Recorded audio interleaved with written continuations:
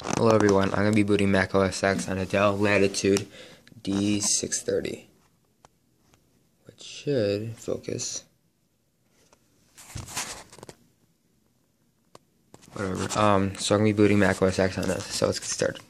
I have the default boot device set to its disk drive because I have iBoot Legacy in here. So we'll start it up.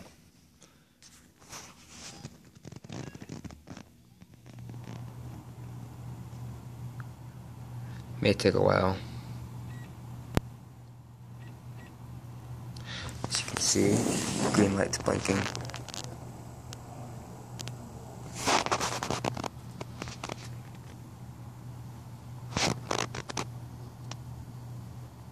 You can see latitude D630.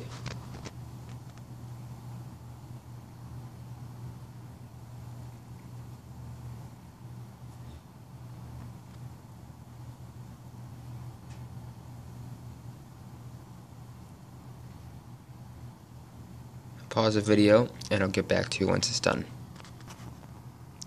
Alright, so it's going in.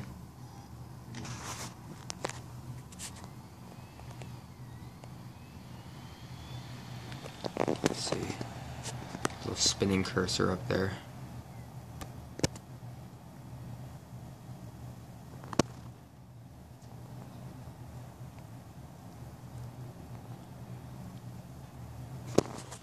There it goes.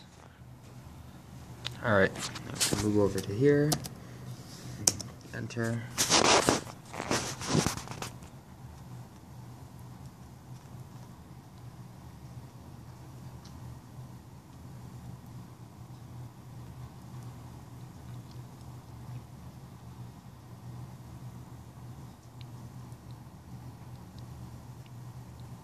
Alright, there we go. Mac OS X. Spotify. Silly Spotify. Okay, see? Mac OS X. Right there. Okay, See? Open Finder.